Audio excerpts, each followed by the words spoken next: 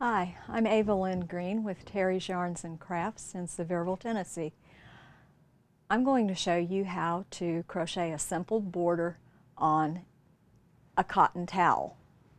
For this project, you're going to need worsted weight cotton yarn, of course a towel, scissors, a ruler, some sort of pin this happens to be an erasable fabric marking pen. You can also use a pencil if you want. A small steel crochet hook or if you don't have one of those you can use an awl or something to poke the holes through the, the towel and a G crochet hook.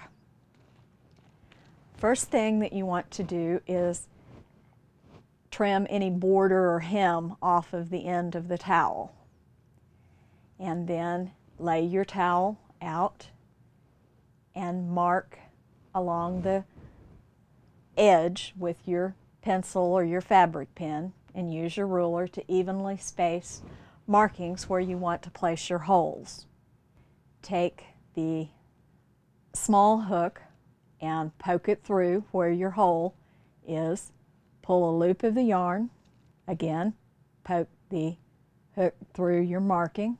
Pull up a loop and complete the single crochet. And get your last crochet just as close to the edge as you can get. And there's your first row.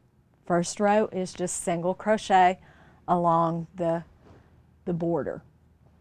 The second row is a simple double crochet, skip one, chain one that makes makes a mesh like on the second row.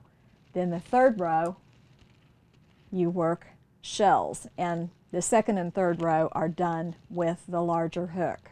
So the shell pattern is six double crochets in the same, the same space and single crochet in the next space.